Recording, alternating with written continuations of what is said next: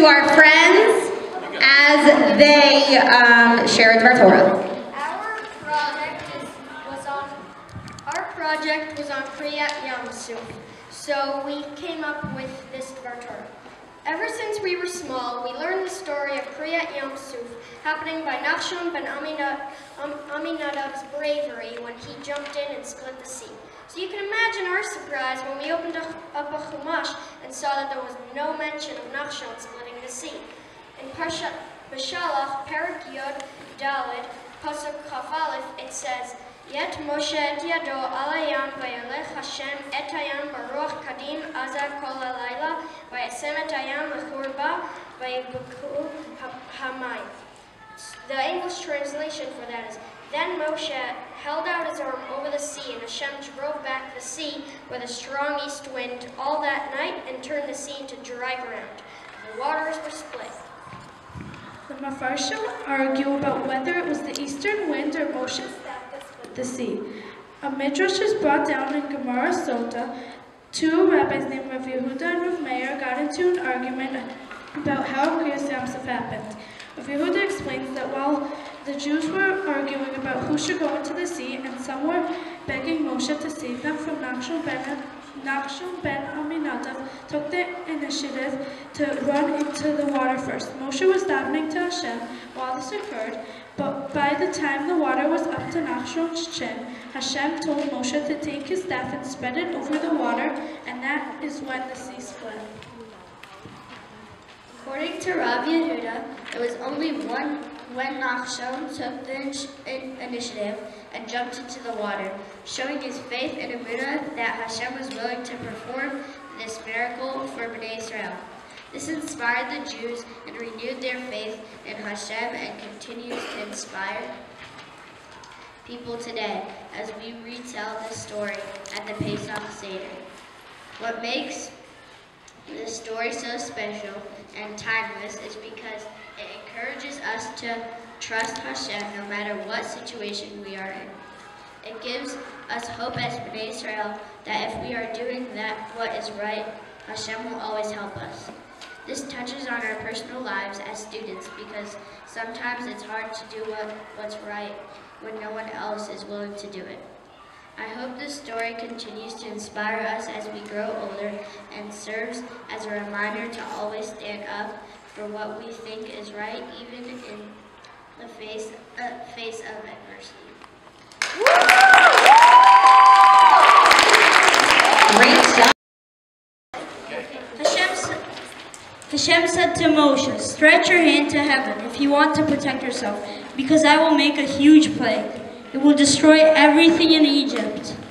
Moshe stretched out his hand to heaven, and Hashem sent hail, thunder, and fire. There was the strongest hail since Egypt became a nation. The hail destroyed the crops, structures, and anything that was outside.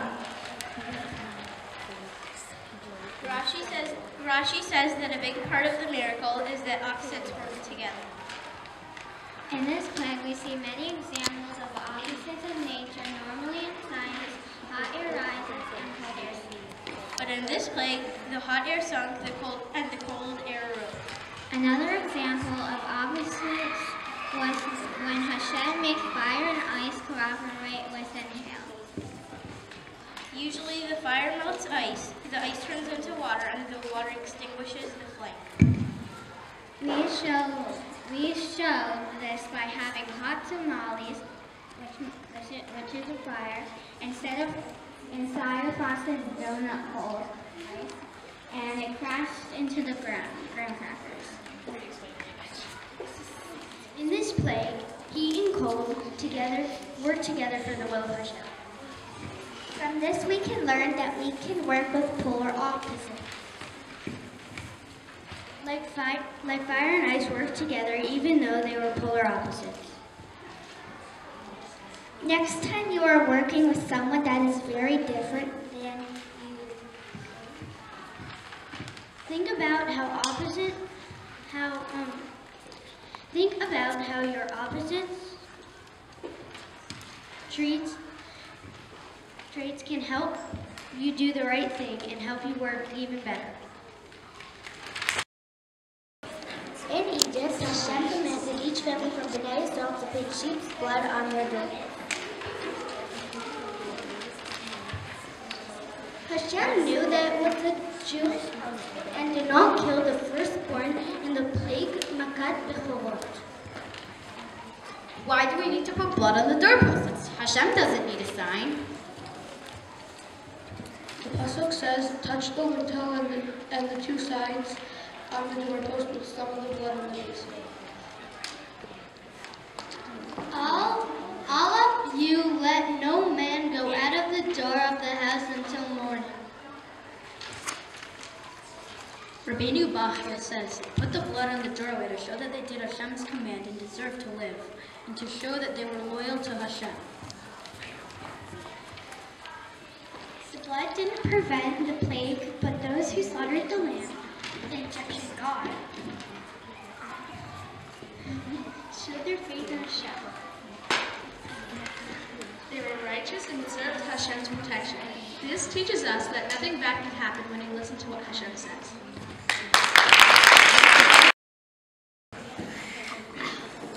In a Midrash on Tehillim, Samach Ayin, it says that when Hashem decided to give Bnei Israel the Torah on top of a mountain, all of Hashem's creations heard the news. Every single mountain wanted to be the chosen mountain to have the Torah given on it. Mount Tabor, a very tall mountain, said, I'm the tallest mountain. I should be the one to have the Torah given on. Then Mount Carmel spoke up. But I am the most beautiful. I should be the one that has the Torah given on me. Soon, all the mountains had joined in with their own reason of why they should be the one that have the Torah given on. Only Har Sinai stayed quiet. Har Sinai was thinking, why should Hashem choose me? I'm just a tiny, ugly mountain. Then Hashem spoke, I have chosen which mountain will be the mountain that I will give the Torah on. All the mountains waited impatiently. Hashem boomed. Har Sinai will be the mountain on which the Torah will be given on.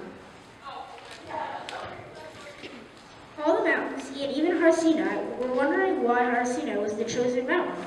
Hashem continued, The reason I chose Har Sinai is because Har Sinai was the only mountain who didn't brag. Although Har Sinai is not tall or beautiful, on the inside he is the best of all because he didn't brag. This is an important lesson in our own lives because we can learn that even if you are focused on your outside appearance, on your outside appearance, it's the inside that matters. It's your midot that matters, and that is why Har Sinai got chosen to be the one to have the Torah given on.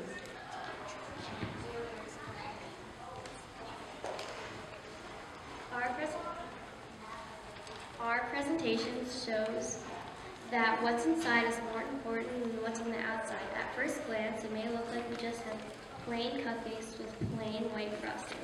Nothing too impressive at all.